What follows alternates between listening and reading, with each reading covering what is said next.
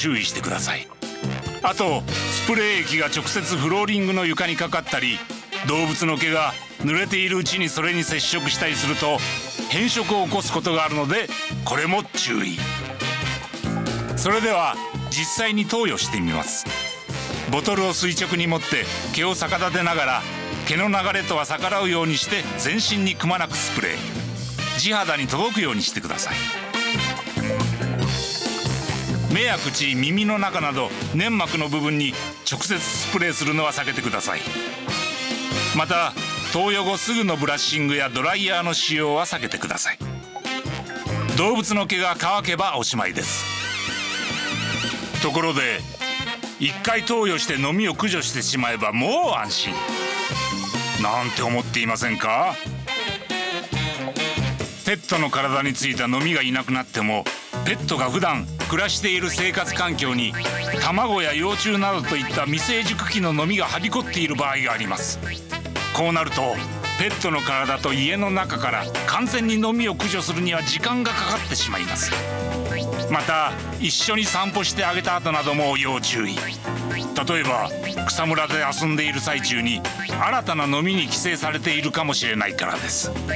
だからこそたとえ飲みがいなくなったとしてもフロントラインプラスを継続しその後も飲みの規制を予防し続けることが大切なんです。このように定期的に予防することの重要性を踏まえてフロントラインプラスのパッケージには獣医師が投与間隔や投与日などを記入できるスペースがあります。ここに書いてある情報をもとに投与確認カードの投与した月のシールを剥がしてそのシールを次の投与日に貼れば確実な投与に役立ちます。また E メールによる投与日案内システムもあります。必要事項を入力すれば次の投与日の前にメールで知らせてもらえる。これは便利ですよ。あそれと冬はいないと思っていませんか？このグラフは冬の最も寒い時期に全国の動物病院を訪れた犬や猫の飲み規制状況です。犬では10頭に1頭猫では5頭に1頭の割合で飲みの被害を受けていることが分かります。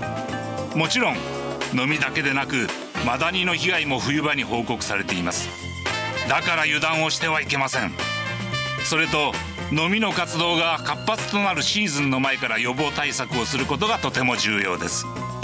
実際に飲みの発生がピークとなるシーズンに犬や猫に飲みが寄生ししかも家の中にも大量の飲みがはびこってしまってからでは完全な駆除はとても大変で時間もかかってしまうからです。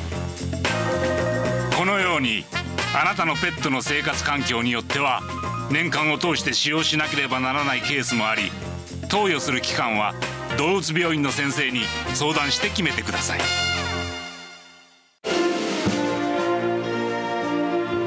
大切なペットの飲みマダニ対策はフロントライン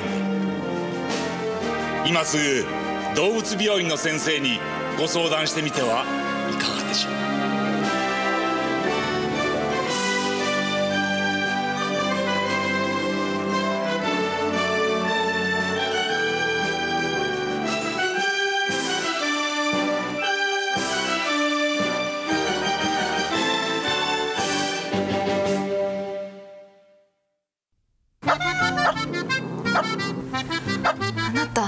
誰？誰だ？まさか飲み？そう飲み。なんでいるの？生まれたのさここで。どうやって？え？卵からさ。